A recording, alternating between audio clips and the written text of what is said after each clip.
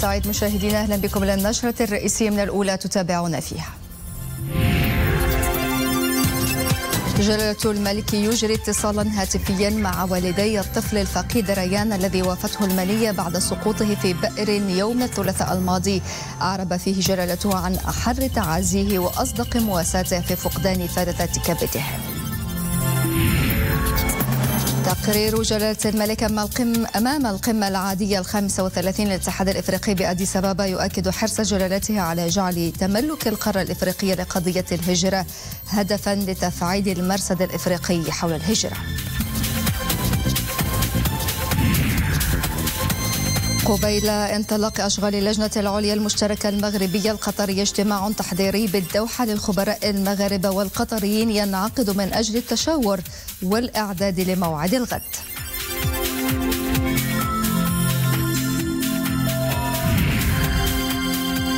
مع استمرار تسجيل حالات حرجة بأقسام الإنعاش يتجدد الإلحاح على التسلح بالمناعة عبر جرعات اللقاح خصوصا بالنسبة لكبار السن والمصابين بأمراض مزمنة.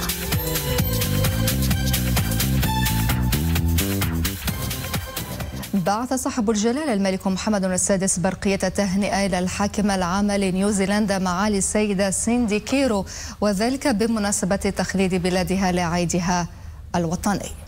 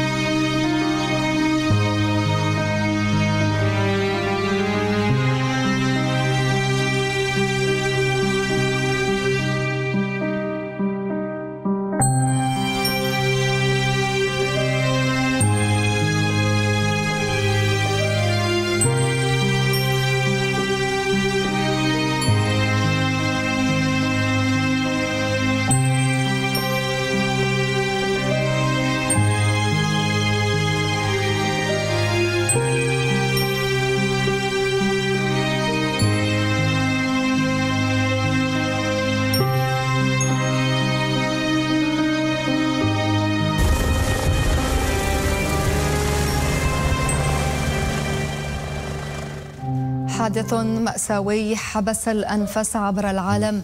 صدمة وحزن كبيرين عقب انتشال الطفل ريان ميتا من قاع ثقب مائي بعد خمسة أيام على سقوطه. إنقاذ الطفل ريان ملحمة مغربية مفعمة بقيم التضامن. نخصص لها الجزء الأكبر في هذه النشرة. على إثر الحدث المفجع الذي أودى بحياة الطفل ريان ورام أجرى صاحب الجلالة الملك محمد السادس حفظه الله أمس اتصالا هاتفيا مع السيد خالد أورام والسيدة وسيمة خرشيش والدي الفقيد الذي وافته المنية بعد سقوطه في بئر.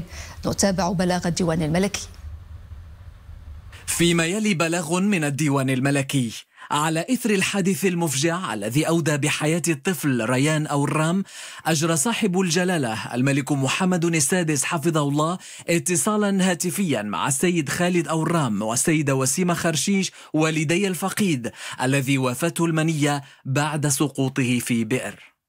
وبهذه المناسبة المحزنة عرب جلالة الملك نصره الله عن أحر تعازيه وأصدق مواساته لكافة أفراد أسرة الفقيد في هذا المصاب الأليم الذي لا راد لقضاء الله فيه.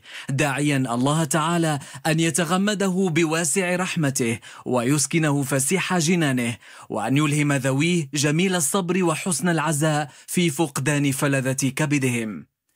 وقد أكد جلالة أعزه الله بأنه كان يتابع عن كثب تطورات هذا الحادث المأساوي حيث أصدر تعليماته السامية لكل السلطات المعنية قصد اتخاذ الإجراءات اللازمة وبذل أقصى الجهود لإنقاذ حياة الفقيد إلا أن إرادة الله تعالى شاءت أن يلبي داعي ربه راضيا مرضيا.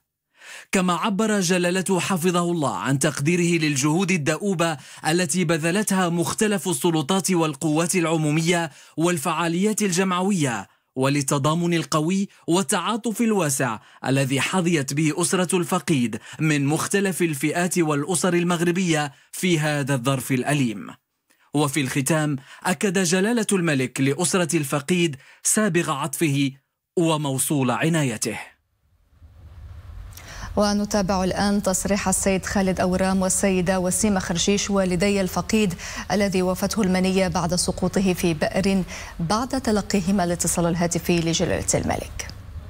الله ينصر جلالة الملك الله ينصر جلالة الملك الله يطول عمره ونتمنى هاد الناس اللي وقفوا معنا رجال السلطة والدرك الملكي الوطني كل شيء كنشكروهم جزيل الشكر والحمد لله.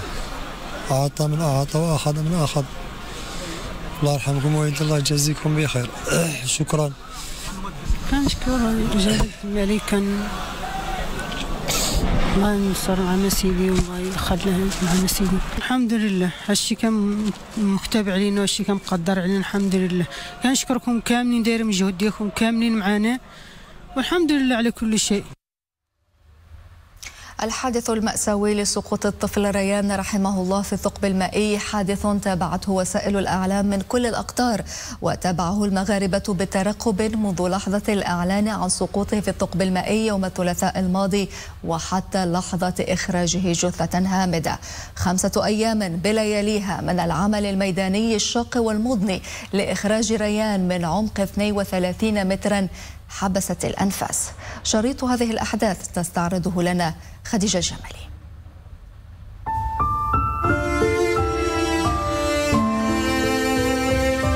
عصر الثلاثاء الماضي بجماعة تمروت بإقليم شفشاون. قرية إغرن الهادئة تهتز على وقع الحادث. ريان الطفل ذو الخمس سنوات يسقط داخل ثقب مائي جاف على عمق 32 متراً. حادث استنفر السلطات العمومية فسرعان ما انطلقت أولى عمليات الإنقاذ بعزيمة من شباب القرية والسلطة المحلية ورجال الوقاية المدنية حيث جرت عدة محاولات لإنقاذ الطفل عبر فتحة البئر بنزول متطوعين ومتخصصين في الاستغوار والاستكشاف. لكن ضيق قطر البئر حال دون الوصول إلى ريان. سرعان ما تم اعتماد خطة إنجاز حفرة موازية بعمق 32 مترا ثم حفرة أفقية باعتبارها الوسيلة الأنجع والأكثر سلامة للوصول إلى ريان حيث أنشئت لجنة تتبع وإنقاذ على مستوى عمالة إقليم شفشاون أشرفت على تنسيق جهود مختلف المتدخلين من وقاية مدنية ورجال الدرك الملكي وسلطات محلية ومسعفين ومتطوعين ومهندسين مهندسين وتقنيين كما رصدت آليات وإمكانيات الشركات المختصة في الأشغال العمومية ومكاتب الدراسات الطبوغرافية وغيرها من معدات الحفر والتنقيب. تعززها خبرة المختصين في حفر الآبار والإنقاذ. عملية استمرت بإصرار وتحدي لطبيعة تضاريس المنطقة وما كان يترتب عنها من خطر انجراف التربة وصعوبة تجاوز الكتل الصخرية. جهود الإنقاذ وصلت الليل بالنهار لتغير معالم القرية في غضون أيام لتخترق عمق الجبل وشموخه بحثا عن ريان الذي أصبح قضية الجميع قضية تشغل العالم تستوقفه بين كل متر من الحفر مسافة انتظار وترقب توق للانعتاق. فجأة أصبح الجميع عالقا هناك في قعر البئر ينتظر إلى جانب ريان. لتتواصل عمليات الحفر العمودي وينطلق بعدها الحفر الأفقي بكل ما رصد له من إمكانيات لوجستيكية وبشرية تلائم طبيعة المنطقة وخطورة اللحظة. إضافة إلى ما وكب العملية من استعداد لنقل ريان وإسعافه عبر توفير سيارات إسعاف وإنعاش على أهبة الاستعداد. تؤازرها مروحية طبية تابعة للدرك الملكي بطاقمها الطبي والتمريضي المتخصص في الإنعاش. كان الأمل طوق نجاة تشبت به الجميع. إلى آخر لحظة إلى آخر نفس من هذه العملية التي حبست أنفاس العالم. للحظة تطلع الجميع صوب النفق. عله يجود علينا بريان ناجيا. وبعد جهود متواصلة بمعاول العزيمة والإرادة خرجت جثة ريان. في لحظة إنسانية مؤثرة ستبقى عالقة في الوجدان. ريان لم تكن وحدك هناك. المغاربة والعالم أجمع. كانوا حولك.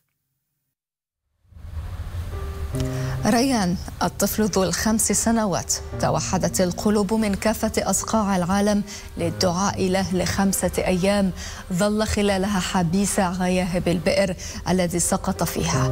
توحدت الجهود لإخراجه لكن مشيئة الله اختارته ليلبي نداءه عز وجل. وداعا ريان ستظل في قلوبنا. تقرير سمير أصبان ويوسف الشرقي.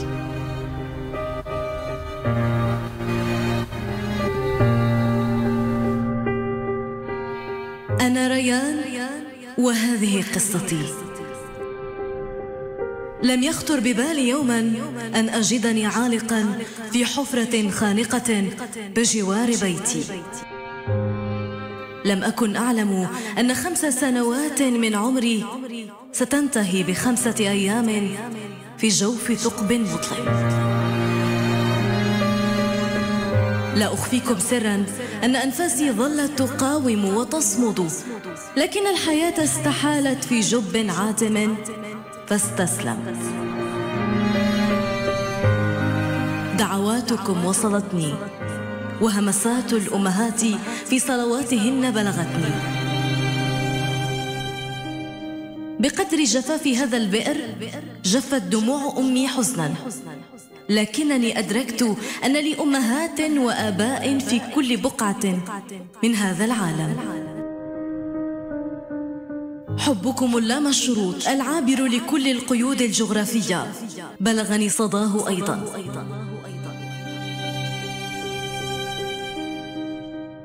محنتي جعلتكم تحركون الجبال من أجلي. هدمتم الصخور وقاومتم قساوة تضاريس بلدتي. جربتم كل الخطط لرؤيتي حيا أرزق. أدرك أن الحسرة تنتابكم كلما تخيلتم مشهد جسد صغير في عمق بئر عاتم. صدحت أفواهكم جميعا بعبارة أنقذوا ريان. أنقذوني. لكن لا عليكم. ضائقتي كشفت معدنكم وعن إنسانية لا تنسى. فحين ضاقت بي هذه الحفرة وسعني قلبكم. أنا ريان وهذه قصتي. ريان سيظل في قلوب الملايين. وللحديث عن هذه الهبة التضامنية يحضر معنا ضيفا في البلاتو الدكتور ناجي الأمجد الخبير في التربية والتواصل. أهلا بك سيدي. مساء الخير وعزاؤنا واحد مرة أخرى. أعزي المغاربة وأعزي العالم العربي والإسلامي في هذه الأيقونة وفي صاحب هذه الملحمة. عزاؤنا واحد كما ذكرت دكتور الناجي تابعت كما الملايين عبر العالم العالم العربي والإسلامي ومختلف أصقاع العالم كما المغاربة بحسرة بتأثر كبير. هذه الملحمة الإنسانية. كيف تمكن الفقيد ريان أن يتحول إلى نبض للإنسانية وإلى فرد من عائلتنا؟ وددنا أن لو كان كتب له قدر آخر غير هذا. نعم. اولا أشكر أصحاب التقرير المهني الجميل الرائع المعبر الذي قال تقريبا كل شيء. ومن لم يشكر الناس لم يشكر الله. ريان صناعة ربانية. خلق رباني. هذه الملحمة أراد لها الله أن يبكي أهل الأرض عليها وأهل السماء. هذا الإنسان الصغير والله تعالى يعرف أين يضع سره في أضعف خلقه. كتب له أن يكون الحدث وأن يكون الحدث بلا منازع في العالم كله وبكل اللغات. تلقينا ونحن نتابع عبر الشاشات وعبر القنوات تلقينا تلك اللحظة المفصلية بعد أن أشبعنا بمنسوب رائع من الوطنية من الحب من القيم وكأن هذه القيم كانت مطمورة هي الأخرى مطموسة هي الأخرى بنوع من الغبار الذي حال دوننا ودون أن نرى هذه الأشياء. لكن تتبع كل اللحظات في عمق الجب والبئر تتبع كل اللحظات في صناعة الأمل. بالنظر إلى تلك المجهودات التي صرفت والتي جندت أو تجندت طوعا وكرها وهنا لا بد من الإشارة إلى أن أهل هذه القرية كتبوا بمداد من ذهب نحن المغاربة هذا لوننا هذا معدننا هذه صناعتنا. فكانوا يعطوننا الدرس ولو أن الحضارة عجزت عن أن تعطينا درسا كهذا لكن الريف المغربي العمق المغربي القرية المغربية علمتنا وجعلتنا نولد من جديد. فأخرج ريان من العمق ومن الغار لكن أخرجنا نحن من العتمة إلى ولادة جديدة. وكان الضحية وكان الفداء وكان القربان الرباني هو هذا الريان الذي لا يمكن أن نتحدث عنه سوى من باب أنه صنعنا من جديد. صنعنا من حيث المفاهيم من حيث القيم من حيث الوطنية من حيث وأقولها بالدارجة من حيث تم غربيت وجعلنا فعلا نفخر ونعتز ونشكر الله عز وجل أن قيض لنا هذه اللحظة. كنا نريد أن نراه حيا ولكن الله أراد أن يستره بنوع من الكرامة وبنوع من الستر الرباني ليتحول حيا بيننا إلى ما لا نهاية إن شاء الله. ريان هذا أحرج العالم وأحرجنا بالخصوص وأحرج المسؤولين لأنه يقول لهم بلسان آخر تعالوا وانظروا إلى هذا العمق وانظروا إلى هذا المغرب لأنه يستحق أن تسهروا عليه وأن تطمروا كل حفرة كيفما كان نوعها وأن تكونوا قريبين من أناتنا ومن فرحتنا كذلك. هذا باختصار ما رأيته. ولكن الغريب لو سمحت يا أستاذة تفضل. هو تلك المكالمات التي كانت تصلنا تباعا من خارج المغرب. أقسم لك أن الناس بكوا وبكوا بحرقة ورسائل متعددة وهم يسألون لحظة بلحظة هل نجا ريان؟ هل يمكن أن نرى ريان؟ هل يمكن أن نفرح بريان؟ وفي قنوات عربية لا داعي لذكرها كانت الجنازة عندهم حاضرة. لا لشيء لأن هذا الغلام هذا الطفل هذا الحدث صنع بكيمياء أخرى لم نكن نعرفها. فحينما تحدثت القرية كرما وهبت النساء لصنع الطعام عن بكرة أبيها بتلقائية وهب الناس لمساعدة رجال الأمن والدرك والسلطات وفتحوا بواباتهم وفتحوا حتى الكهرباء الشحيحة التي توجد عندهم لكي يشحن أمثالك من الصحفيين والصحفيات هواتفهم. من أمرهم بذلك؟ من قال لهم ذلك؟ هذا سر مغربي هو رباني ولكنه على أرض هذه ال ال ال هذا البلد الذي وهذا للتذكير فقط الذي يرقد تحته مئات وآلاف من الأولياء. وعلى مد البحرين الأبيض المتوسط والمحيط الأطلسي يرقد كثير من الصالحين وكثير من الأولياء. ثم نغمة أخرى روحانية هي تلك الآيات وتلك الأحزاب التي تتلى آناء النهار وآناء الليل في هذا البلد العزيز في هذا البلد الآمن. إذا أحرجتنا يا ريان بكل هذه الخيرات. هل يجوز لنا بعد هذه اللحظة هل يجوز لنا بعد هذه الجنازة المهيبة؟ لا أقول جنازة ولكنه كان عرسا كان زفة ربانية لأهل السماء. هل يجوز لنا أن نحتقر المغاربة؟ هل يجوز لنا أن نحتقر القرى كيفما كانت؟ هل يجوز لنا أن نهتم بشق دون شق آخر من هذا البلد؟ هذا البلد بكى كله ولم يستثنى منه طرف أو جزء. ففعل ما أمره به الرسول. كالجسد الواحد إذا اشتكى منه عضو تداعى له سائر الجسد بالسهر والحمى. فهذا البلد تداعى إذا فما العمل؟ وماذا بعد الريان؟ وماذا بعد المغارة أو الجب؟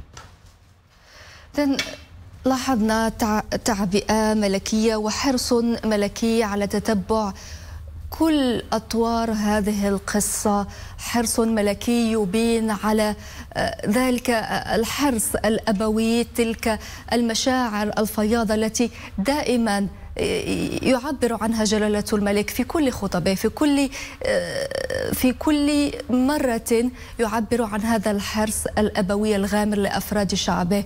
دائما يذكر أنه يتألم لألمهم لمعاناتهم. بالنسبة لنا كانت هذه التعليمات كان هناك حرص أول من زف لا نقول نعى هذا الخبر كان من صاحب الجلالة باعتباره أبا الأمة أب لكل المغاربة. كيف تنظرون إلى هذه نعم، المسألة؟ شكرا على السؤال. تلك الصورة التي رأينا الأب يحمل الهاتف بيديه والملقي أو المتحدث هو صاحب الجلالة هو أبو الأمة.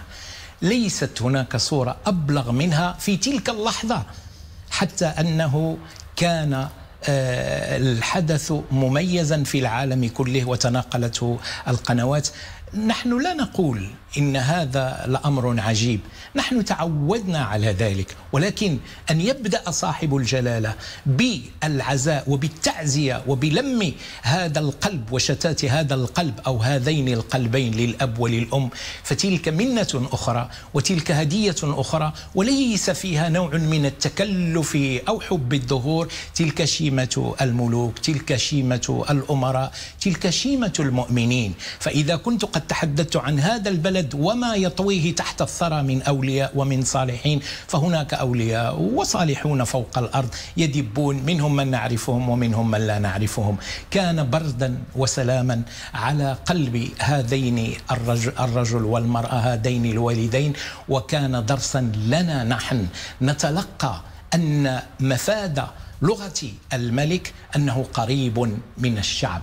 وحينما نقول قريب يصغي يتحدث يتألم ينفطر قلبه هو الآخر. وما تلك التعليمات التي شاهدناها إلا هب وقوم من أجل أن يكون صاحب الجلالة آه، مرتاح البال مطمئنا على آه، فلذات كبده التي هي كل المغاربة. فسجل آه، رسالة رائعة كانت صوتية ولكنها كانت مرئية بالنسبة لنا. وددنا أن نسمع تلك الكلمات ونتلذذ بصداها وببعدها وببوحها وبنورانيتها كذلك. ولكن تكفي الصورة لتقول للناس وللعالم ولكل مغربي يشك في هذا المغرب ويشك في عطاء هذا المغرب وأهل وطينة هذا المغرب أننا بخير إذا أردنا أن نكون بخير. فكما قلت هذا الحدث كأنه إناء منسي فجاء الحدث لينفض عنه الغبار ويظهر بريقه ويظهر معدنه ويقول هذا المعدن أنا المغربي من يريد أن يراني؟ ها أنا ذا. وقد أحرج آه، بهذا الفعل أحرج من قبله وأتعب من بعده من المسؤولين. فهذا القرب ليس هناك قرب أكثر من هذا ونتمنى أن يتلقف كل أب مسؤول هذه الكلمات وهذه الرسالة وهذه المكالمة وهذه الجنازة وهذه الهبة كما قلت وهذه النفرة التي نفر الجميع. أتعلمين أختي أن الناس لم يناموا وواصلوا ليلهم بنهارهم بصيام وبقيام وبدون طعام كذلك وأن الناس أقاموا المآدب مآدب العزاء وأن الناس يعني ألغوا كل أنشطتهم وأن الناس بكوا حرقة ربما لم يبكوها على أحد. ما الذي صنع هذا؟ صنعته هذه اللحمة المغربية. صنعه هذا الإعجاز المغربي وصنعه كذلك هذا الثرى هذا التراب الذي كان ينقل من مكان إلى مكان. هذا الجبل الذي حرك أو تحرك بإذن الله فكان آآ آآ الله عز وجل قد بعث يوسف من القبر من البئر عفوا وأخرجه.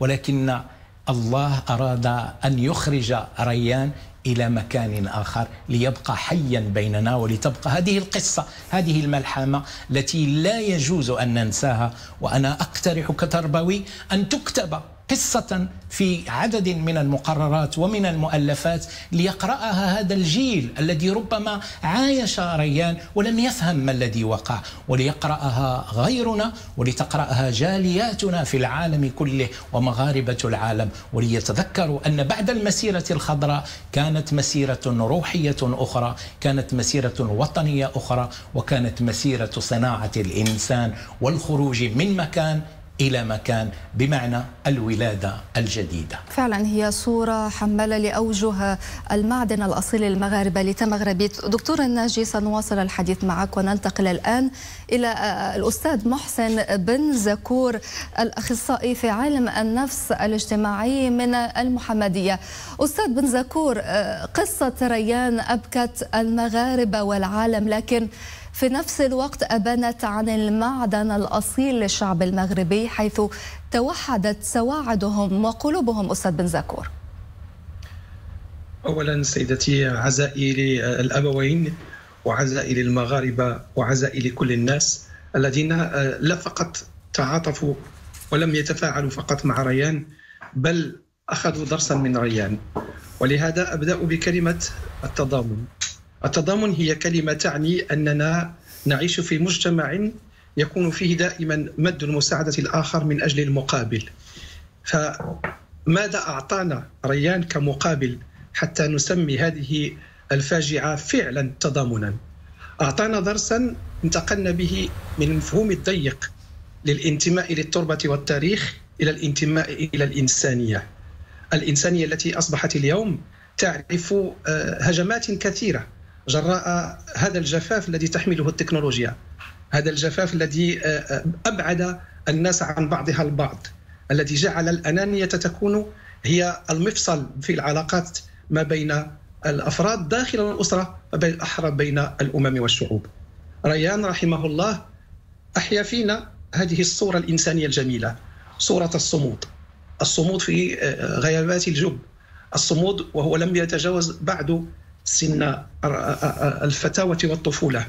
الصمود للتشبت بالحياة ليس كما يتشبت بها ذلك الذي يعيش على حساب الآخر بل الذي يوحد هذه الإنسانية يوحد هذا الشعب يذكره بجذوره بأصوله بأخلاقه بقيمه بما يمكن أن يتشكل كوحدة الدم ووحدة الوطن ولكن أيضا كوحدة القيم والأخلاق. وحدة الإنسانية.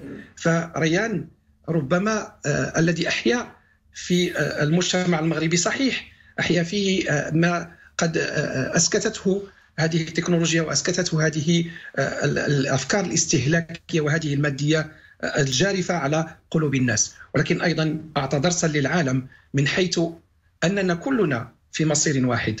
مصير لا يمكن أن تشوبه إلا أخطاء آه، الأمراض القلوب. أخطاء آه، العيش على حساب الآخر. ولكن يمكن أننا نتذكر من خلال براءة ريان من خلال صموده من خلال تشبته بالحياة أننا دائما نتذكر تلك الصورة التي كان يكبر فيها الشهود الحاضرون آنذاك التع...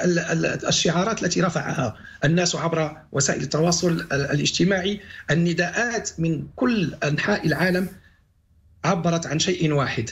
أننا إذا كانت لنا صفاء القلوب يمكن أن نتوحد. وإذا تذكرنا براءة يمكن أن نتوحد.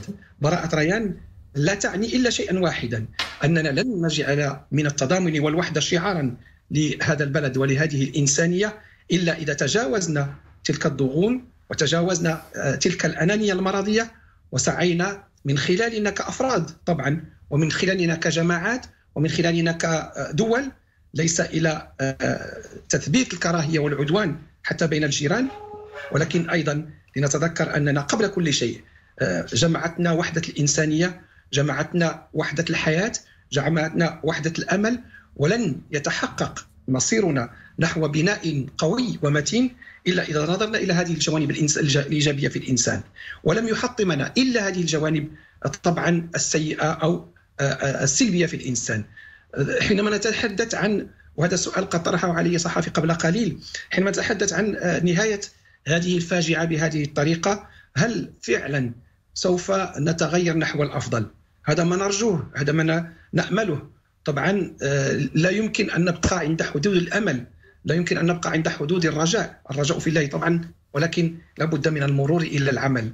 لابد أن نحيي ذاكرة أبنائنا وأجيالنا القادمة من خلال أعمال متعددة من خلال إثبات أن هذه الوحدة لم تتحقق لسبب أننا كنا فقط حاضرون في لحظات معينة بمشاعرنا ولكن حاضرون أيضا بوعينا حاضرون بمسؤولياتنا حاضرون أيضا بقدرتنا على تحدي ما قد خلفته الحضارة المادية من ثغرات في آه، أفعالنا وفي علاقاتنا وفي قلوبنا.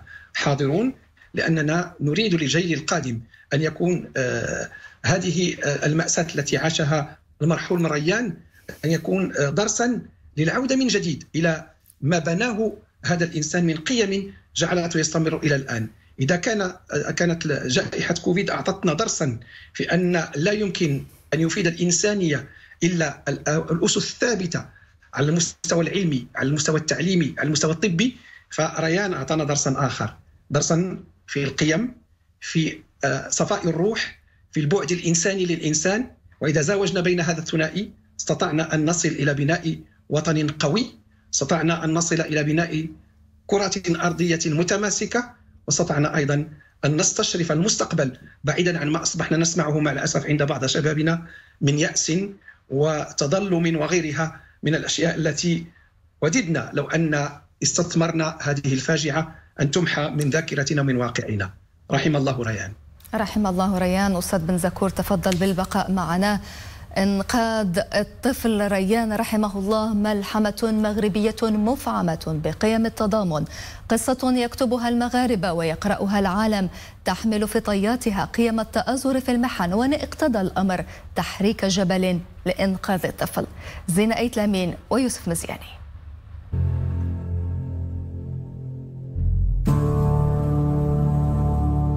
هناك في القرية النائية على قمم جبال الريف في إغران كانوا يرابطون. كانت العيون مشدودة إلى جب سحيق حيث يقبع ريان. ريان الصغير كان يتمسك بالحياة ويصارع الموت وفوق الأرض قلوب تناجي تتضرع من أجل الصغير. واحد الإحساس كنحسو ما كيتوصفش والله باش تفوت عمي خرج غنقول لك.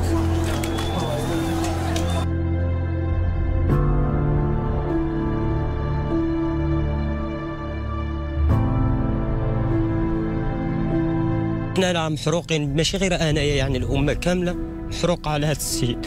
ولكن الله غالب. ضبط الزمن في إغران على أنات ريان. تختلط الأحاسيس. تصفيق لأمل لاح من بطن الجبل.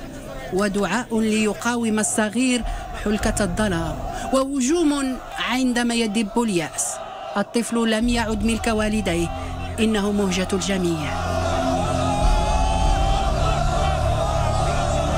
هذه القضية آه، أبانت وأظهرت المعدن الحقيقي ديال التمغربيت عند المغاربة من خلال القيم ديال التضامن وديال التكافل وديال التآزر المجتمعي. كنا متألمين لحق شاهدنا الروح ديال المغاربة والتضامن ديالهم آه، بواحد الشكل اللي هو غريب وعطى واحد والله العظيم إلا نقول لكم لا حول ولا قوة إلا بالله العظيم. تضامن اولا المغاربة عبر كل المدن المملكة من طنجة إلى القويره بهذا الحدث الذي أثر في نفوسنا جميعا.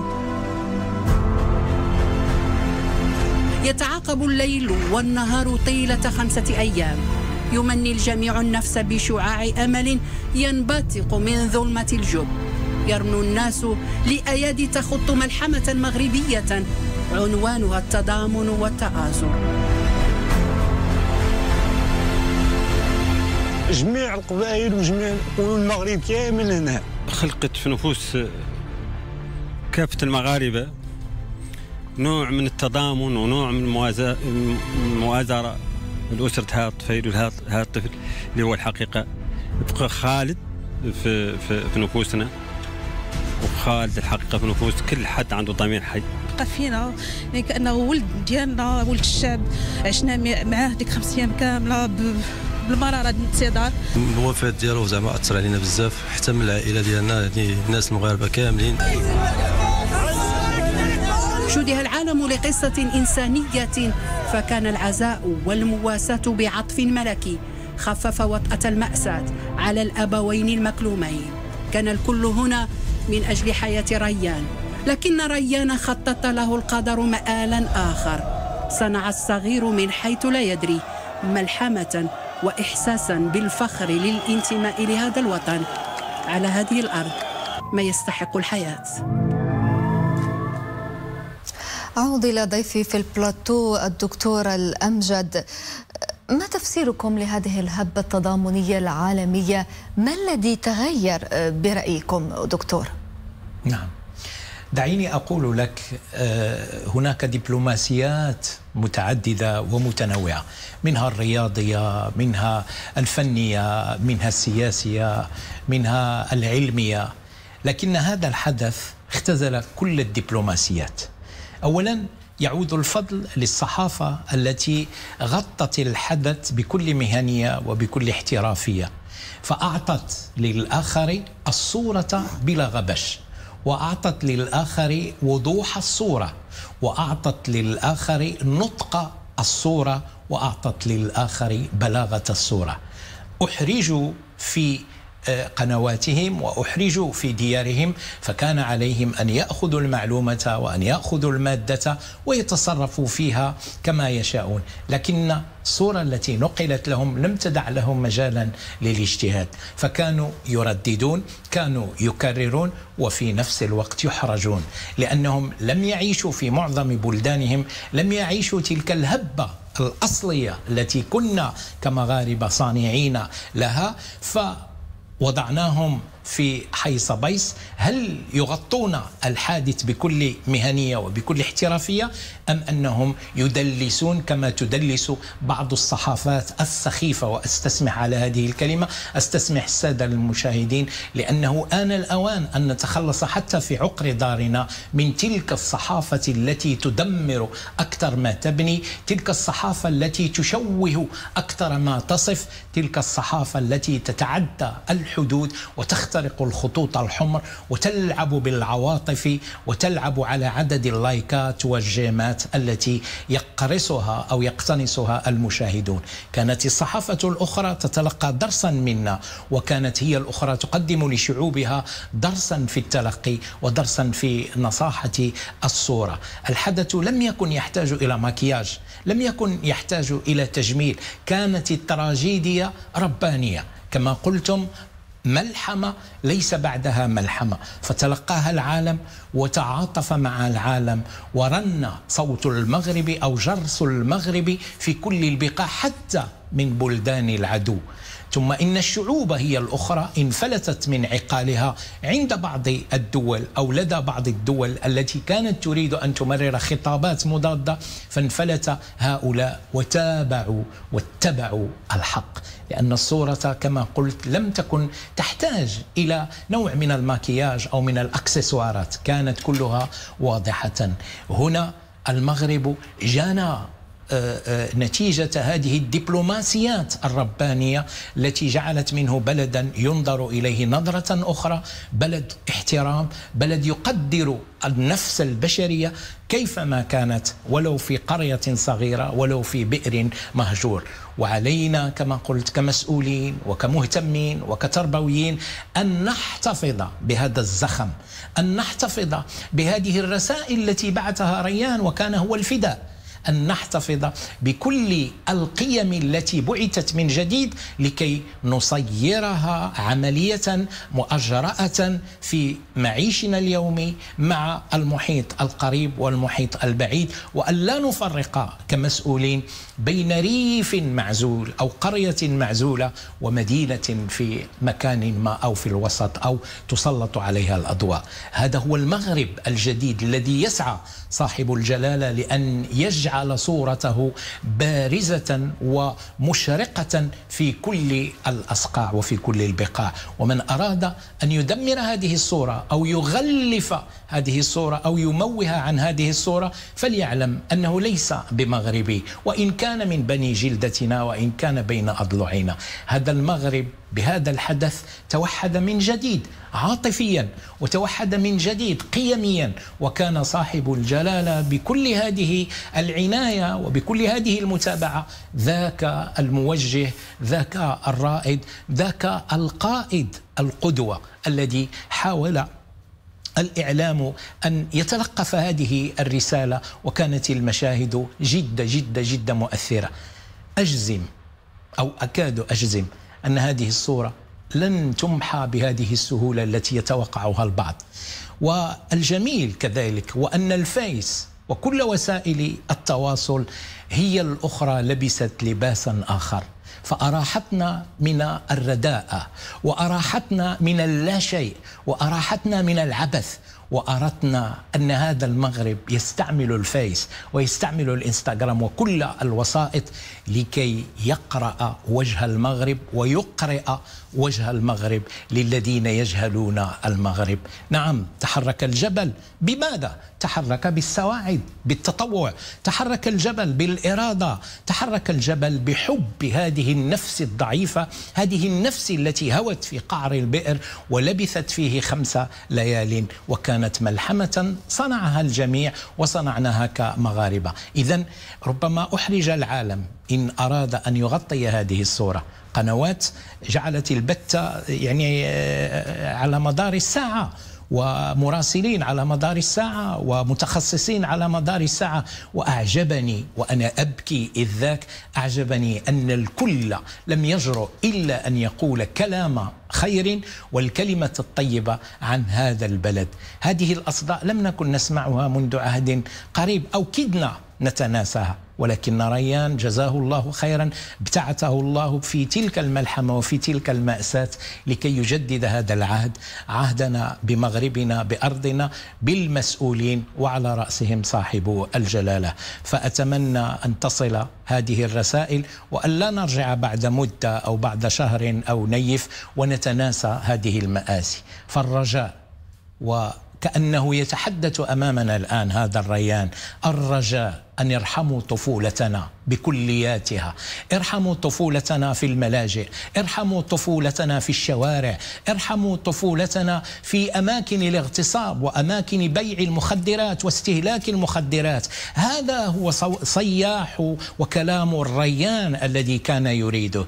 لعل هذه الرسالة ب سقوطه في اليم قد وصلت. دكتور وشكرا لك. سنعود إلى مواصلة الحديث معك وأنتقل إلى الأستاذ بنزكور. آه، إذا هي صدمة مأساة عشناها. أستاذ بنزكور كيف يمكن تجاوز الآثار النفسية والمجتمعية التي سببتها مأساة ريان لنا جميعا؟ شكرا سيدتي على السؤال.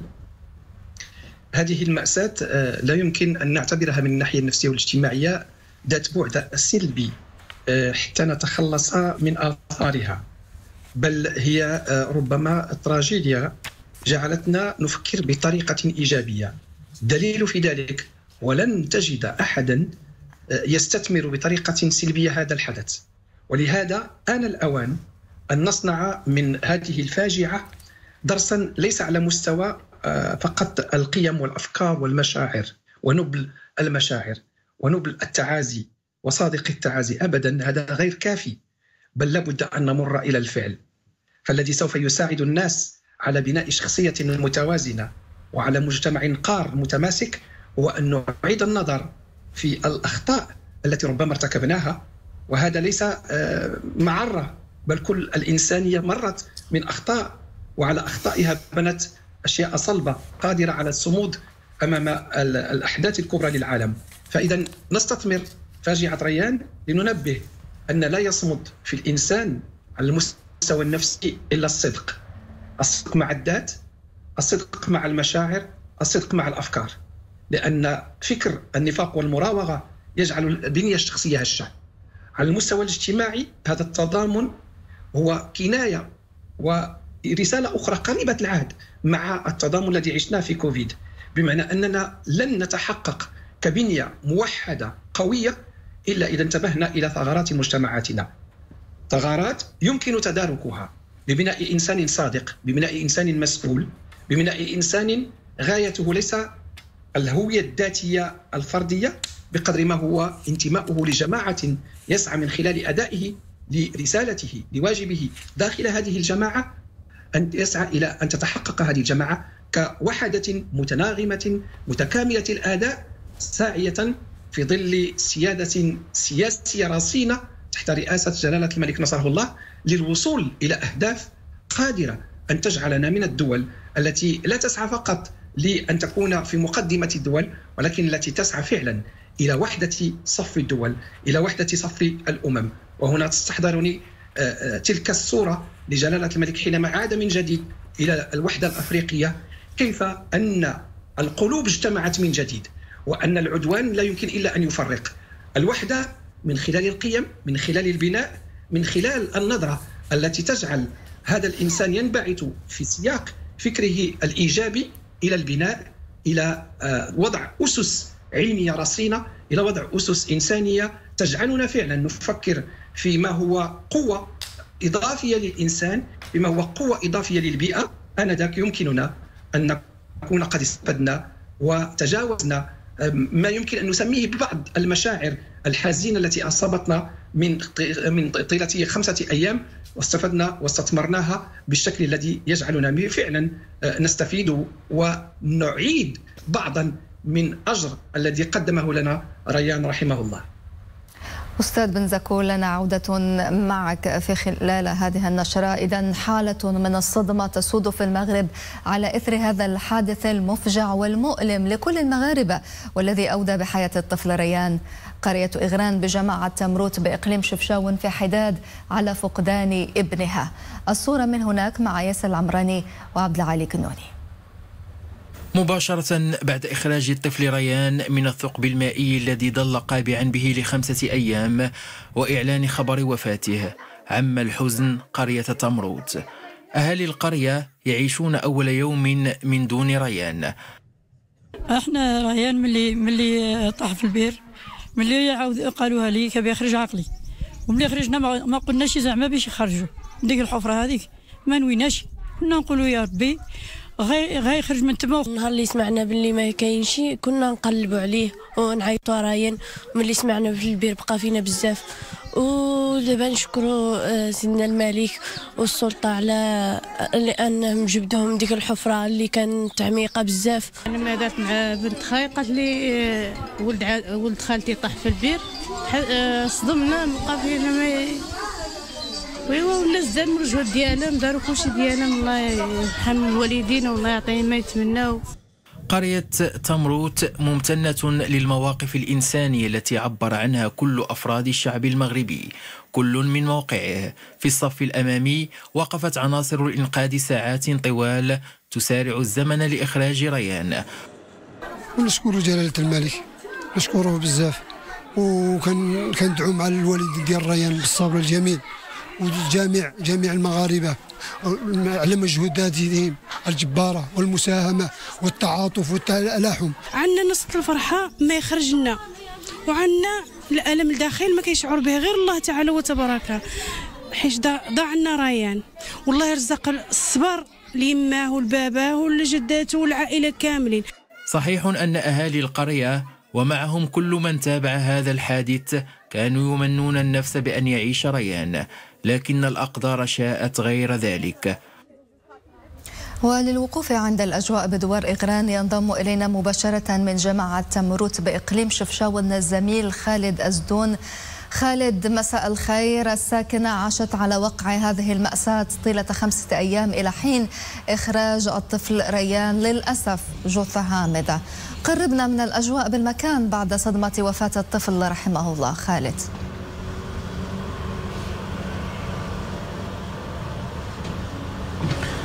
مساء الخير نبيلة. مساء الخير لكل المغاربة الذين يتابعون من عين المكان الذي شد أنظار العالم وأيضا شد أنظار المغاربة. بالحديث عن الأجواء قبلها لا أخفيك تأثرنا هنا بما جاء في البلاطو عبر الضيوف الكرام وأيضا عبر التقارير الإخبارية وأيضا الريبورتاجات. كلمات أكثر من مؤثرة. وهو ما يعبر عنه جميع المغاربة. تأثرهم الكبير بهذا الحادث الذي أصابنا جميعا. هنا بدوار إغرم يمكن القول بأنها ليلة هادئة ويوم هادئ عاشته ساكنة هذا الدوار. وتبادلنا أطراف الحديث مع بعضهم خلال رحلتنا إلى مكان الحادث. وأعطونا رسالة وأمانة أن نبلغ لجميع المغاربة قالوا لنا بالحرف شكرا لكل المغاربة قالوا لنا عليكم أن تبلغوا شكرا لجميع المغاربة على اهتمامهم بهذه القضية أيضا وعلى دعمهم الكبير لريان وأيضا لوالدا لوالدي ريان وأيضا لكل ساكنة اغرم في هذا المصاب الذي أظهر معدن المغاربة وتضامنهم.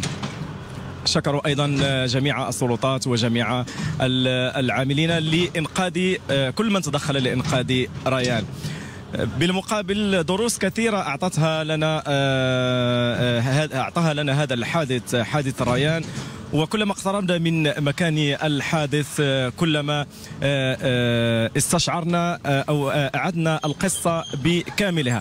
في هذه الأثناء نبيلة أو تحدثت عن الدروس. الدرس الأول هو التضامن الكبير لكل الشعب المغربي الذي يظهر معدنه الأصيل في المحن وقضية ريان عبرت بشكل ملموس على التضامن الكبير لكل المغاربة وراء هذه القضية.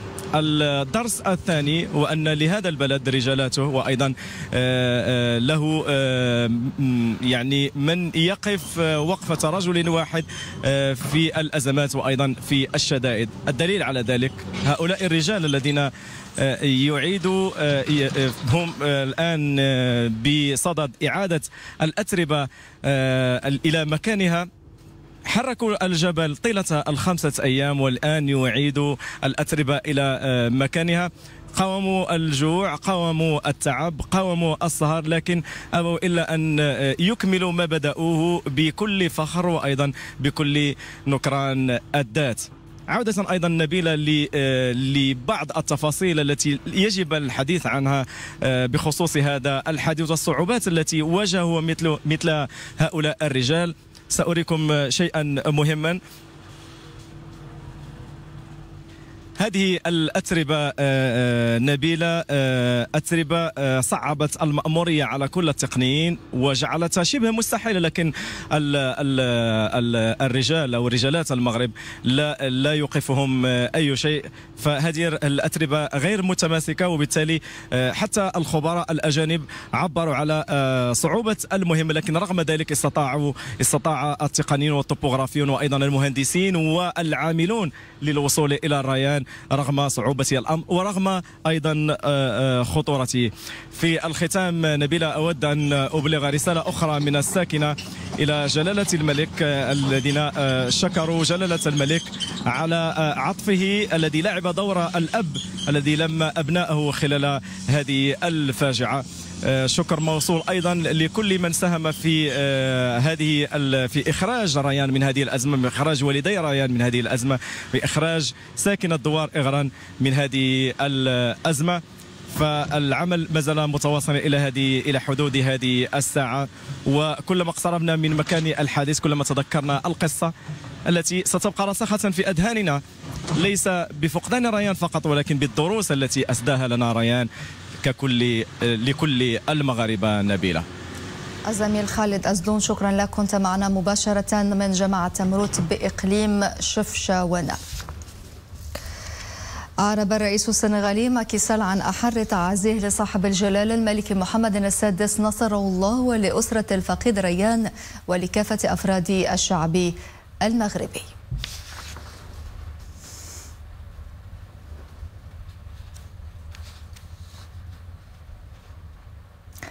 خمس ليال قضاها ريان وحيدا في قاع البئر لكنه كان حاضرا في أفئدة كل الناس عبر ربوع العالم حكايته تجاوزت الحدود ليصبح التعاطف دوليا مع قصته.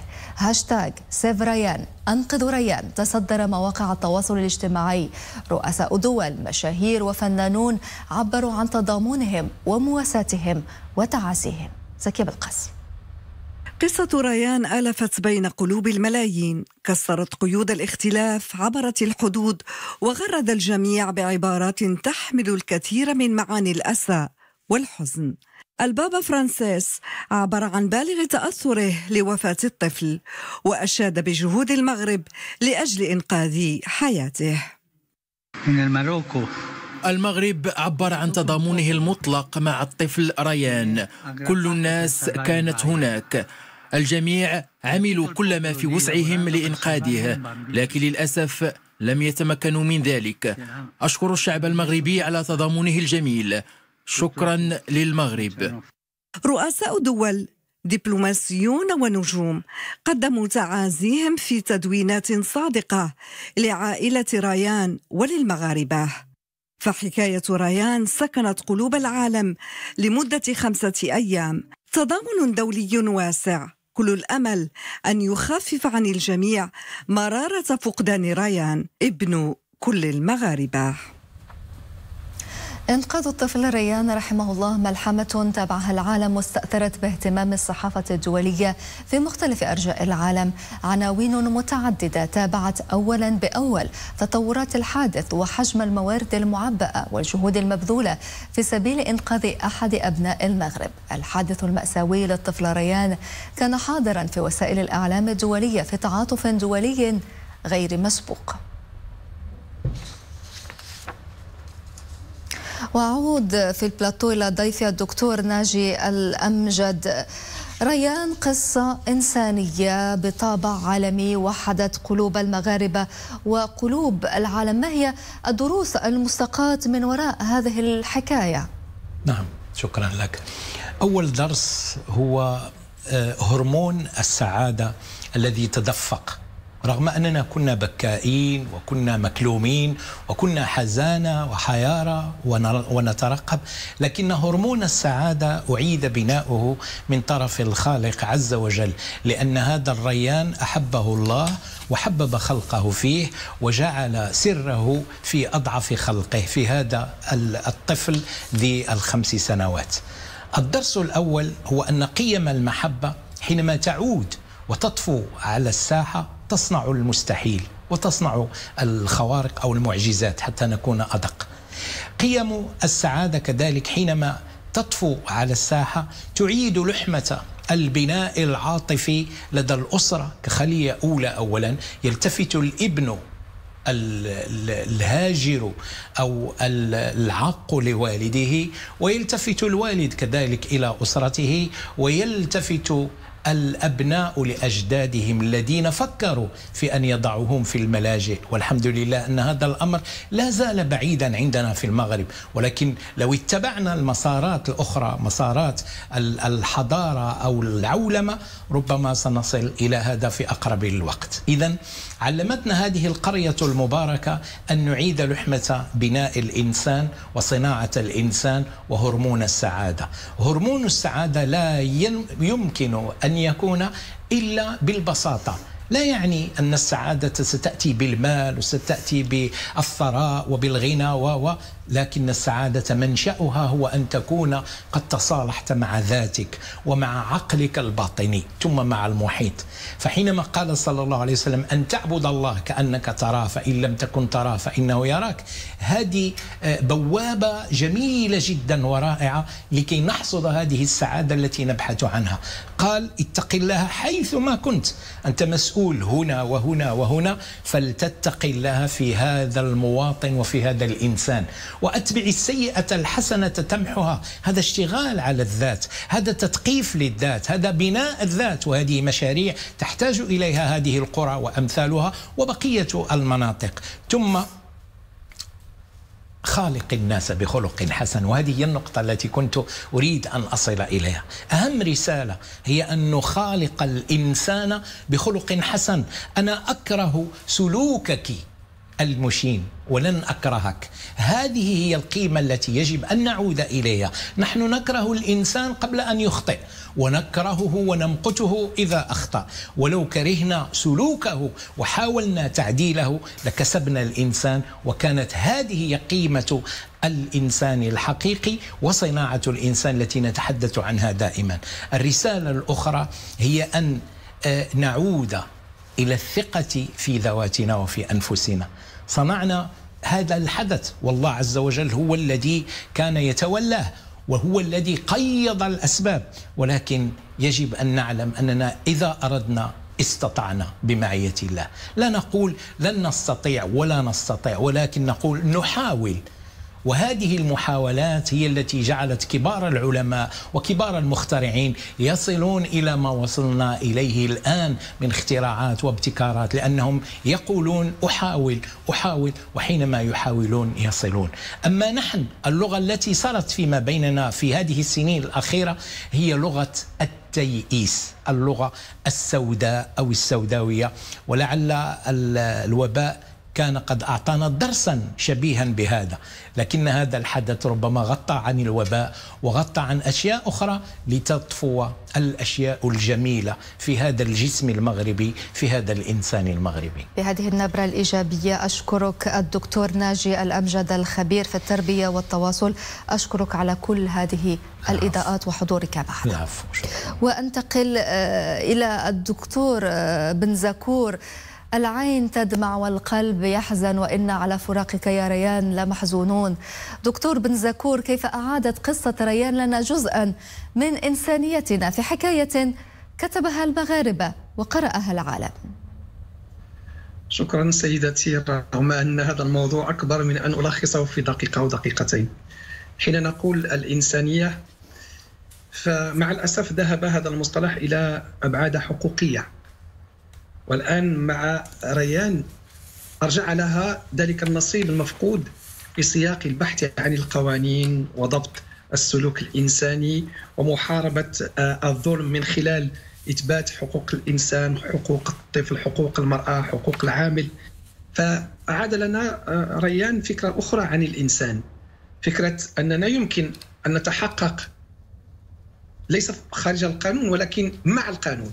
بمعنى أنه إذا أردنا أن نجعل من آه، سلوكنا قادرا على أن ينبع نحو التقدم نحو البناء نحو آه، تواتر المجهودات. لابد أن لا يكون القانون رقيبنا بل أن تكون إنسانيتنا هي رقيبنا. أن تكون هذه الإنسانية هدفها الأسمى أن نراجع أنفسنا ونصلح أخطاءنا. ربما نبدأ بأبسط الأشياء أن ننتبه إلى العالم القروي وما آه، كان وراء هذه الفاجعة من إهمال الآبار مثلا. ثم بعد ذلك نتحول إلى الحاجيات التي آه، يتشبع بها الإنسان حتى يتحول من البحث عن ما هو مادي فيه إلى ما هو روحاني فيه إلى ما هو فكري فيه إلى ما هو أخلاقي وإنساني فيه. وقد تجعل هذه رساله كخلاصة لمفهوم الإنسانية التي بدلنا بها ريان رحمة الله عليه هذا التضامن. قد تكون هذه الإنسانية بمفهومها الشمولي بمفهومها الموضوعي بمفهومها أيضا المستشرف للمستقبل ليس كلاما ورديا كما يقال ولكن كلاما فعليا الكلام الذي يصاحبه الفعل لأن ريان ليس قصة. ريان كان في غيابات الجب لخمسة أيام. ريان صمد لتشبثه بالحياة ليعطينا هذا الدرس. حتى لا نفقد هذه الأبعاد ونجعل من الإنسانية الإنسان درسا نتشبع به يوميا. لابد أن نمر إلى الفعل الفعل الذي يحقق إنسانيتنا في كل سلوكياتنا. رحم الله ريان رحم الله ريان وأسكنه فسيح جنانه. الدكتور محسن بن زكور أخصائي في علم النفس الاجتماعي لك جزيل الشكر على كل هذه التوضيحات ومشاركتك معنا كنت معنا مباشرة من المحمدية. بدأت السلطة المحلية بإقليم شفشاون اليوم ردم البئر التي فاقت عمقها 30 مترا والنفق الأفقي الذي تم حفره للوصول إلى مكان الطفل ريان بجماعة تمروت العملية. تأتي في إطار الحفاظ على سلامة المواطنين خاصة في ظل وجود خطر جرف التربة. وكانت الجرافات انهمكت لمدة خمسة أيام من أجل إحداث حفرة موازية للثقب المائي والوصول إلى الطفل ريان.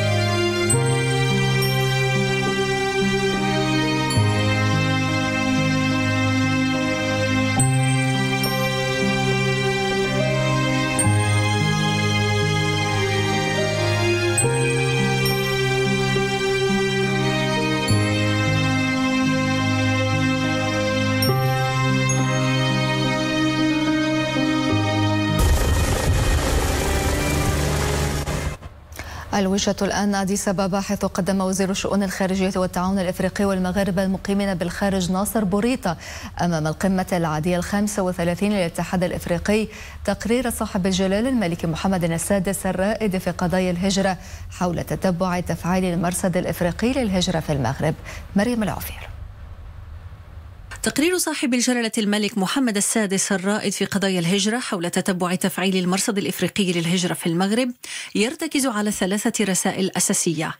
أولها أن الجائحة كان لها تأثير كبير على حركة الهجرة والمهاجرين في القارة الإفريقية كما أن التداعيات الاقتصادية والاجتماعية للهجرة زادت من تفاقم هشاشة أوضاع العمال المهاجرين لا سيما النساء والشباب. ومع ذلك ذكر تقرير جلالة الملك التأثير الإيجابي للمهاجرين على البلدان المضيفة والمغتربين على بلدانهم الأصلية من خلال ابتكار حلول خلاقة لمكافحة الجائحة ومن خلال التحويلات المالية. ورغم انتشار الأخبار الكاذبة يؤكد جلالة الملك تظل أرقام مرتبطة بالهجرة واضحة وبليغة. إن الهجرة الإفريقية تتعلق في المقام الأول بإفريقيا بل إنها زادت بنسبة 13% بين عامي 2015 و 2019 الهجرة الإفريقية لا تمثل سوى 14% من إجمالي عدد المهاجرين الدوليين ومعظمهم ينتقل داخل القارة الإفريقية وداخل مناطق انتمائهم. لذلك فلا شك من أن إنشاء منطقة التجارة الحرة القارية يعزز هذا الاتجاه. الرسالة الثانية في تقرير جلالة الملك تتعلق بتفعيل المرصد الإفريقي الذي تتجسد أهميته في ثلاث مستويات. أولها المغرب ثانيها إفريقيا وثالثها التعاون بين المغرب وإفريقيا.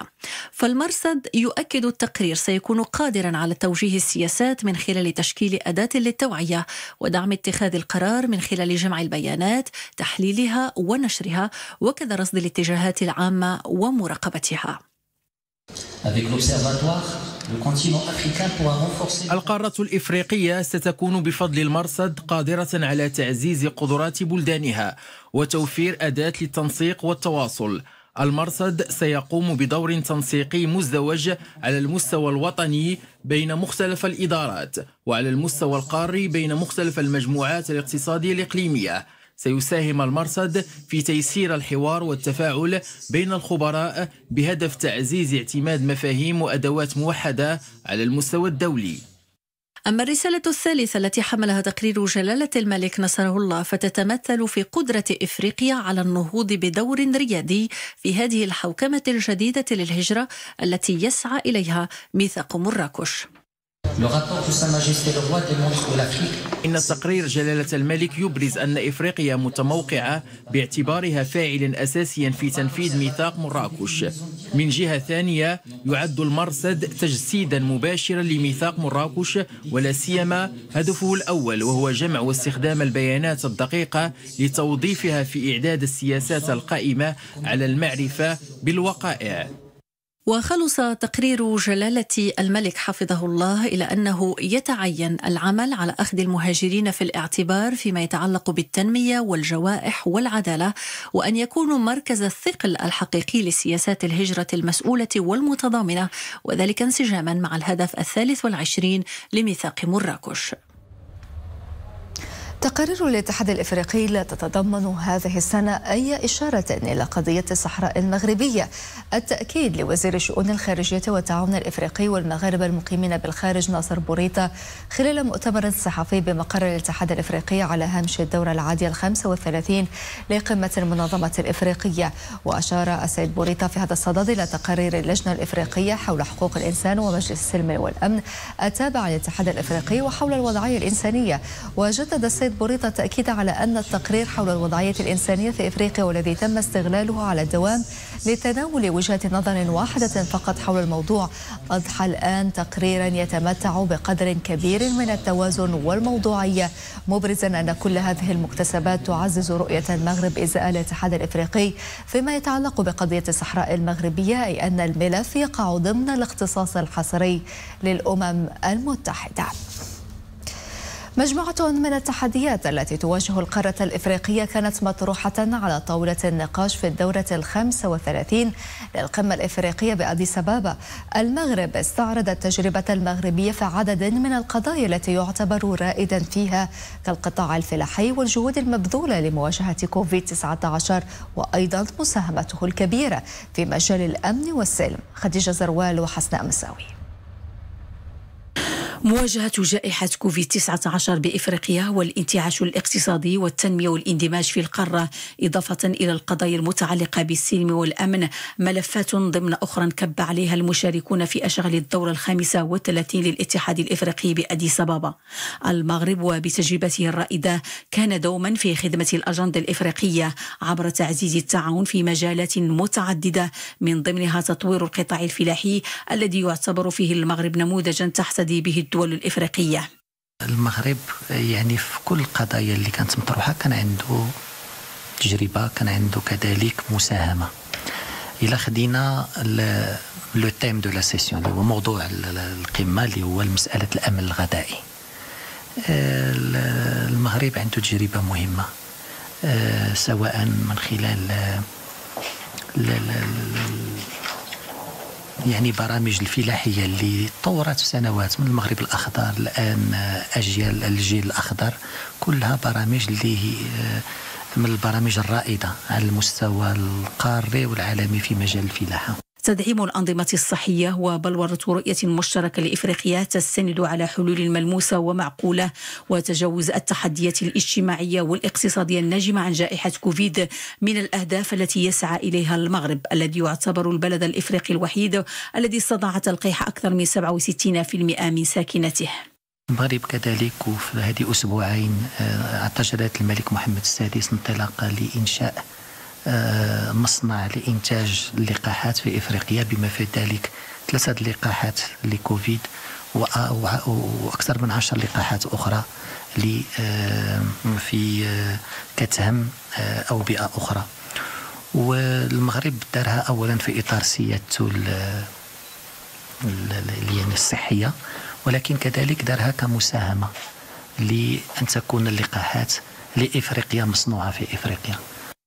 المغرب انضم إلى مجلس السلم والأمن التابع للاتحاد الإفريقي انطلاقا من أن إسهامه في إرساء الأمن والاستقرار بإفريقيا يمثل موقفا ثابتا وراسخا منذ سنوات عديدة. المغرب من الدول الأولى اللي شاركت في عملية حفظ السلام في إفريقيا. المغرب قام ب ماشي وساطات ولكن يعني تسهيل اللقاءات سواء في ليبيا ولا في منطقة نهر مانو وغيرها.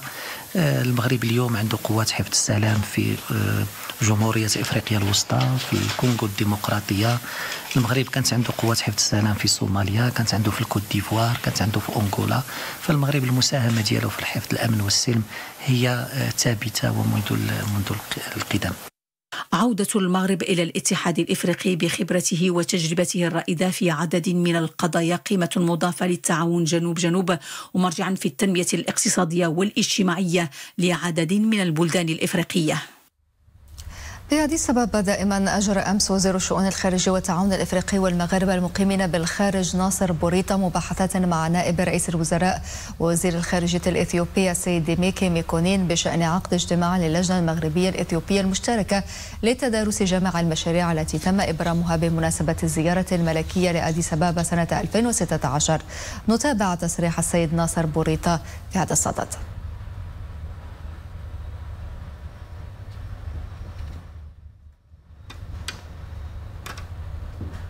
كان لقاء في إطار مجموعة من اللقاءات اللي تمت خلال على هامش هذه القمة. والنقاش الأساسي كان مرتبط بكيفيه تفعيل العلاقات الثنائية انطلاقا من زيارة جلالة الملك محمد السادس إلى أديس أبابا في 2016 توقعت أكثر من 13 اتفاقيه وتم الإعلان عن مشاريع مهمة. هذه المشاريع بعض منها تحقق البعض لم يتحقق. اتفقنا على أن تعقد اللجنة المشتركة لتبحث في في, في هذه الأمور. تحدثنا كذلك في مجموعة من القضايا الإقليمية والأجندة ديال دورة الاتحاد الإفريقي. وبالعاصمة القطرية الدوحة احتضن مقر وزارة الخارجية الاجتماع التحضيري للخبراء المغاربة ونظرائهم القطريين من أجل التشاور والإعداد لانطلاق أشغال اللجنة العليا المشتركة في دورتها الثامنة يوم غد. من الدوحة مراسلة محمد أمين النوري والمعتصم بالله بوعزاوي هو اجتماع تحضيري لأشغال اللجنة العليا المشتركة بين بلدين لطالما جمعت بينهما أواصر الصداقة والود والعمل المشترك في شتى القطاعات. حيث توجت سبع دورات لهذه اللجنة العليا بإقرار أزيد من مئة نص قانوني واتفاقيات ومذكرات تفاهم وبرامج عمل تصب في بوتقة النهوض بالعلاقات الثنائية في مجالات حيوية على مستوى التجارة والاستثمار والطاقة والقطاع المالي والمصرفي ومجالات أخرى. تقييم آه، الحصيلة التي تمت منذ الدورة السابقة وإعداد عدد من المقترحات آه، سيتم رفعها إلى أنظار آه، الدورة أو المجلس الوزاري إن شاء الله هناك أيضا تم التوصل إلى الصياغ النهائية لعدد من الاتفاقيات ستعرض على اللجنة الوزارية. بالنسبة للقطاعات التي سيتم إن شاء الله الانكباب عليها هناك قطاعات السياحة، قطاع الطاقة، قطاع الشباب، قطاع الثقافة وأيضا الشؤون الإسلامية، بالإضافة إلى دراسة العديد من القطاعات الأخرى الواعدة خاصة الطاقة. وذلك تجسيدا للعلاقات المتميزة التي تربط البلدين الشقيقين في ظل الرعاية الكريمة لجلالة الملك محمد السادس نصر الله وشقيقه سمو الأمير الشيخ تميم بن حمد. وتعتبر العلاقات الدبلوماسية بين المغرب وقطر عريقة وتمتد لأزيد من 45 سنة. عززتها الزيارات المتبادلة بين البلدين الشقيقين وأضحت أكثر متانة بفضل الرؤية الموحدة لقيادة البلدين والتي أفضت إلى تعاون ثنائي بناء. كان قاطرة لمشاريع استثمارية مهمة وانفتاح مهم على مجالات جديدة في التعاون. كما هو حال هذه الدورة الثامنة للجنة العليا المشتركة بين البلدين. طبعا علاقتنا مع المغرب علاقة وطيدة وقديمة جدا. إحنا اليوم اجتمعنا في الاجتماع التحضيري للاجتماع الدورة الثامنة للجنة العليا المشتركة واللي راح تعقد غدا. ناقشنا بعض مذكرات التفاهم اللي راح توقع غدا بإذن الله وثلاث برامج تنفيذية. آه، خلصنا مع الإخوان طبعا الاجتماع وكان الاجتماع سلس ومر الحمد لله بشكل جيد.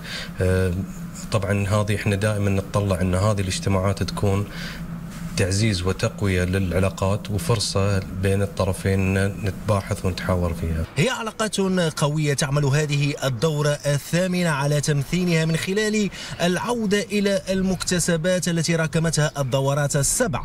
السابقة وأيضا الانفتاح على مجالات تعاون جديدة بين البلدين الشقيقين المغرب وقطر. محمد أمين النوري المعتصم بالله البعزاوي الدوحة.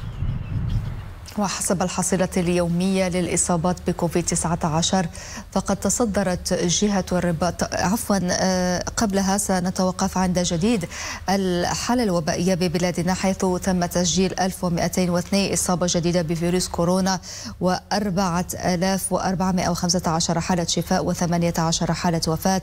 أما بخصوص الحملة الوطنية للتلقيح فقد بلغ عدد الملقحين بالجرعة الثالثة 4 ملايين و725 ألف 1899 شخصا فيما ارتفع عدد الملقحين بالجرعة الثانية إلى 23 مليون و103 آلاف و804 شخصا مقابل 24 مليون و676 ألف و643 شخصا تلقوا الجرعة الأولى.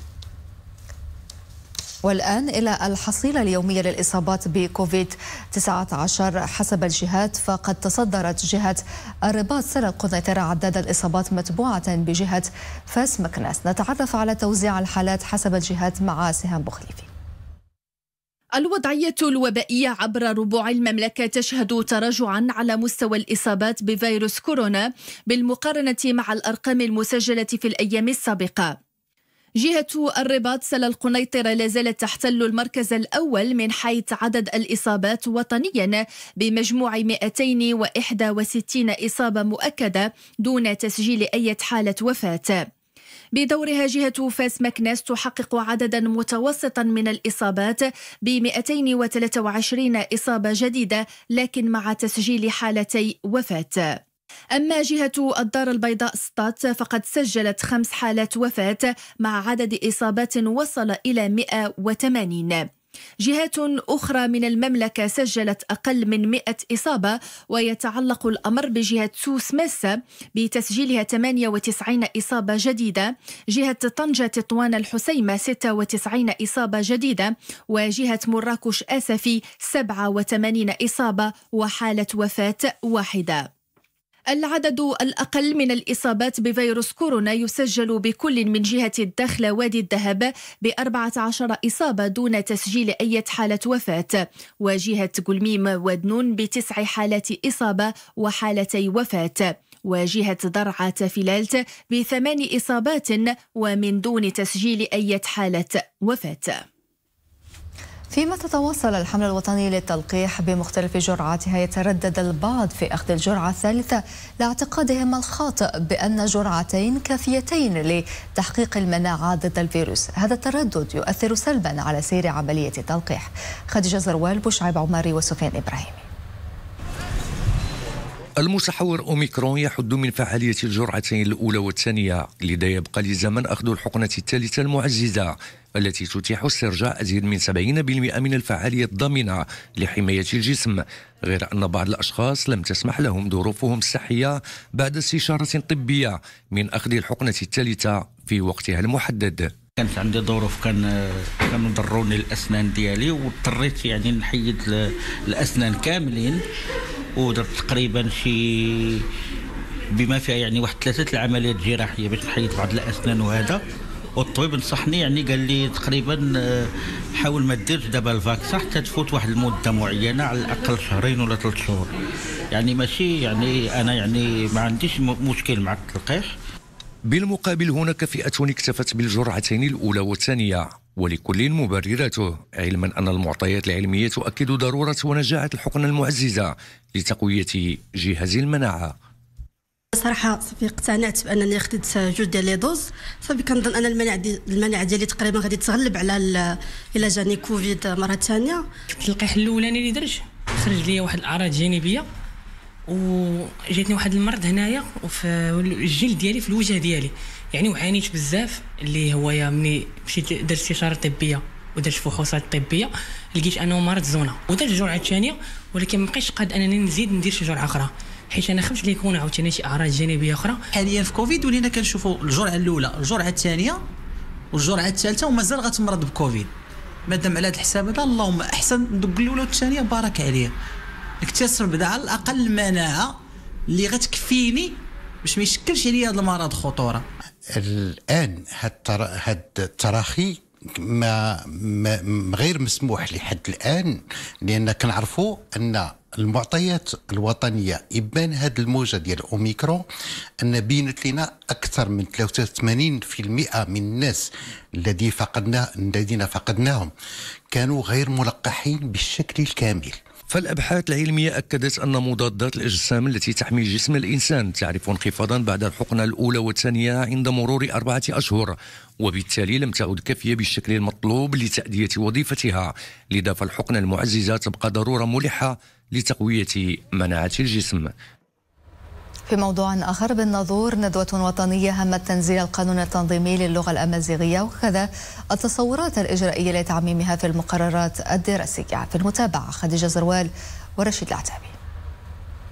بلورة استراتيجية وطنية من أجل تنزيل مقتضيات القانون التنظيمي للغة الأمازيغية. كان موضوع ندوة وطنية نظمتها الفعالية السياسية لحزب التجمع الوطني للأحرار. أبرز مخرجاتها كانت ورقة طريق لتعميم اللغة الأمازيغية باعتبارها ركيزة أساسية لتثمين هوية وطنية. هناك إكراهات اللي هي اللي هي موجودة في هذه العملية ديال التعميم. كيفاش مع كل الفاعلين آه، في هذا الموضوع ديال التعميم الأمازيغية في إطار في مجال التعليم كيفاش نشتغلوا اليد في اليد بشراكة قوية باش نحدوا الأولويات نحدوا شنو هو الطريق اللي يمكننا يساعدنا باش ننطلقوا من من فين حنا اليوم ولين والهدف اللي هو آه، التعميم.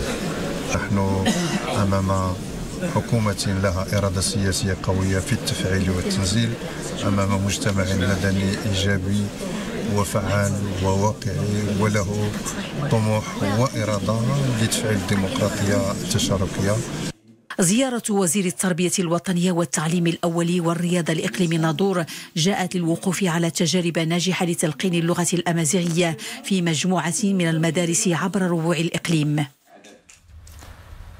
الطفل ريان كان حاضرا في منافسة الكان بالكاميرون وقفة للترحم على روح الفقيد ريان سبقت مباراة نهاية كأس إفريقيا للأمم التي تجمع في هذه الأثناء بالكاميرون بين المنتخبين المصري والسنغالي والتي انتجت انتهت نتيجة وقتها الأصلي بالتعادل السلبي بعدما مر الفريقان إلى الأشواط الإضافية. على مدى ثلاثة أيام جرت أطوار لحاق الدخل الجرجرات في نسخته الثانية والتي عرف مشاركة أزيد من 120 مشارك احتفاء بمغربية الصحراء والشغف بالسيارة العتيقة محمد بن سركة من مدينة الدخل نحو الجرجرات هو عشق لا ينتهي.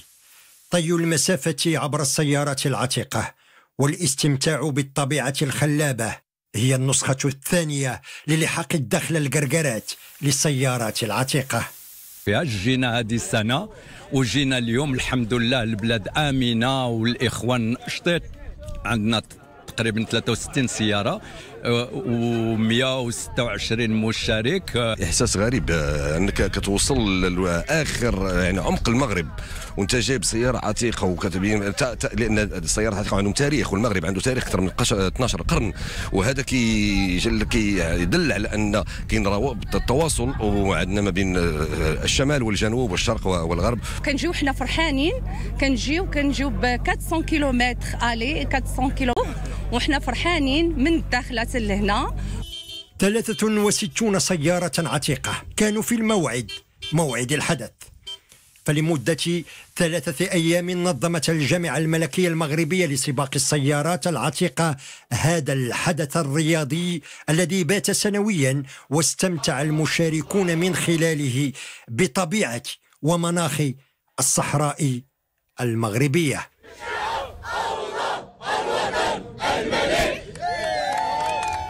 رياضيا دائما بالصين في اليوم الثاني من منافسة الألعاب الأولمبية الشتوية تستمر النرويج في صدارة الترتيب العام للميداليات بمجموع ثلاث ميداليات ذهبيتان وبرونزية واحدة. خالد رغوت نبدأ هذا الملخص بمسابقة سكياتلون أو تزلج الضحية على مسافة 30 كيلومترا. هذه المسابقة عرفت تألق البطل الروسي ألكسندر بولسوف والذي انتزع الميدالية الذهبية لهذه المسابقة. بعد دخوله في الصف الأول قاطعا مسافة السباق في ظرف ساعة واحدة و16 دقيقة. الصف الثاني عاد لمواطني دينيس بيزيسوف ليفوز بالميدالية الفضية فيما عاد المركز الثالث للفنلندي نيساكانين و...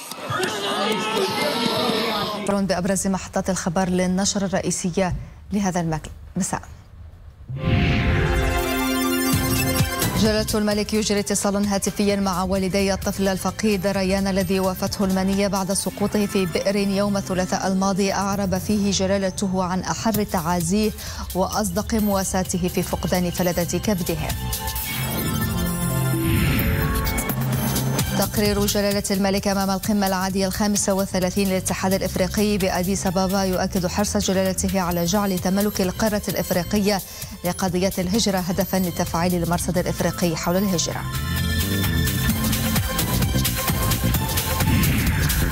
قبيل انطلاق أشغال اللجنة العليا المشتركة المغربية القطرية اجتماع تحضيري بالدوحة للخبراء المغاربة والقطريين ينعقد من أجل التشاور والإعداد لموعد الغد.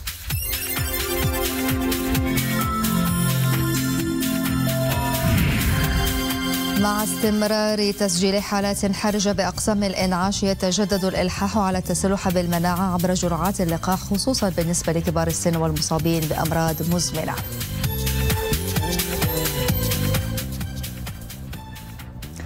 نهاية النشرة التي خصصنا جزءها الأكبر للحادث المأساوي للطفل الفقيد ريان رحمه الله.